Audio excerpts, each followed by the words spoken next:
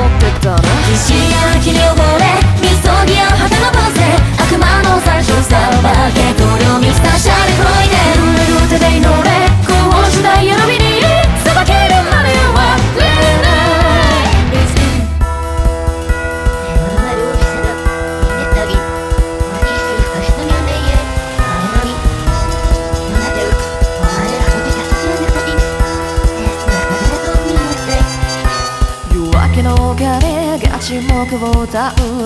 主の眠りを守るように。村連れの墓地で父した彼女。今はの手紙には。早殺し